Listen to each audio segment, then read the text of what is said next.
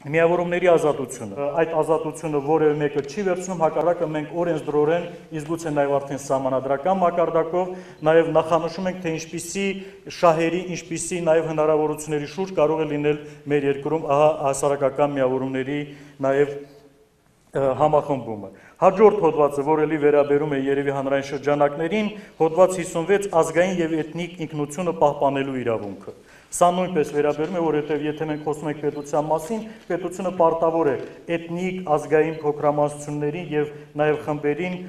այդ ինքնությունը պահպանելու իրավունք տալ։ Եվ հոդված 85-ը, որը վերաբերում է պետության քաղաքականության հիմնական նպատակներին, ես այստեղ ուզում եմ ուշադրություն դարձնեք, որ մենք թվարկել ենք մի մեծ ցանկ 17 կետից բաղկացած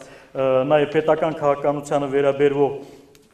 նպատակներ, որը այսօր այդ ձեր ներկայացած հասարակական կազմակերպության հոգացության ներքո են։ Սրանք այն հոդվածներն են, որոնք որոշակի նորություններ են պարունակում հասարակական սեկտորի համար։ Դրանց ուշադրություն դարձնել, ուսումնասիրել եւ առաջարկություններով հանդես գալ, որպեսզի հանրային սեկտորի հետ իշխանությունն ավելի սերտ երկխոսության հնարավորություն ունենա։ Հավաքվածներին առաջարկեց մասնագիտական հանձնաժողովի նախագահ Աշոտ Ղուլյանը։ Սահմանադրության նախագիծն արդեն իսկ քաղաքացիների կարծիք օրենսդրական դաշտում ավելի լսելի դարձնելու հնարավորություն է պարունակում ընտրում։ Ընտրողների 2.5%, այսինքն մոտ 2500 մարդ հավաքվելով կարող են օրենսդրություն փոխելու առաջարկով հանդես գալ։ Քննարկման մասնակիցների առաջին արձագանքը դրական էր, բայց հանդիպակաց առաջարկել հնչեց ավելի քչացնել տոկոսը։ Հայ առաքելական եկեղեցու ներկայացուցչի կարծիքով նախագիծը կրոնական կազմակերպություններին ավելի մեծ ազատություններ է տալիս։ Մտահոգություն հնչեց, որ հաշվի առնելով Արցախի ներկա վիճակը, այդ ազատությունները կարող են իջարս գործադրվել։ Մասնագիտական հանձնաժողովում կարծում են, որ նման իրավիճակները հնար հնարավոր է բացառել օրենքի ուժով։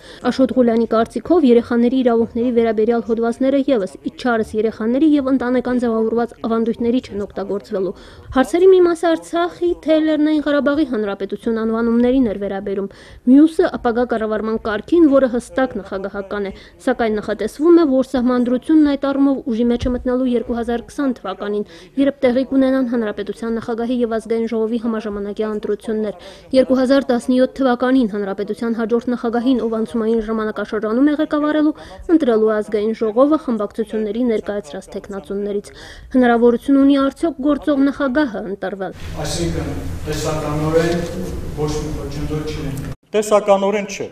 Սահմանադրության նախագծի 161-րդ հոդվածը ազգային ժողովին հնարավորություն է տալիս փոփոխել սահմանադրության որոշ դրույթներ առանց համաժողովրդական հանրակրվեի։ Հանձնաժողովը սա ճկունության տեսանկյունից է դիտարկում երիտասարդները մտավախություն ունեն։ Օրենքներ կարող են փոխվել առանց ժողովրդի կարծիքը հաշվի առնելու, Օրինակ, որոշ պաշտոնյաների կամ ազգային ժողովի լիազորությունների ժամկետը երկարաձգելու համար։ Չի նշանակում սա, որ կողմ քվեարկելով այս նախագծին ժողովուրդը իր որոշում կայացնելու իրավունքը զիջում է քաղաքական կուսակցություններին։ Մենք 161-րդ հոդվածում. Կարող ենք ձեր առաջարկությամբ ընդլայնել հոդվածների այն շարքը, որին չի կարելի դիպչել։ Խնդրեմ, առաջարկեցեք, մենք էլ կմտածենք, տեսնենք այս հոդվածները կարելի է դրան որևէ կերպ անդրադառնալ, թե չէ։ Մենք ոչ մի բան այդ հոդվածով չենք փոխանցում։ Արցախի սահմանների մասին դրանք սահմանադրության նախագծում հստակեցված չեն։ Նշվում է, որ Արցախի հանրապետության հանրային իշխանությունն իրականացվում է այն ողջ տարածքում, որը փաստացի գտնվում է Արցախի հանրապետության իրավազորության ներքո։ Որևէ նահանջ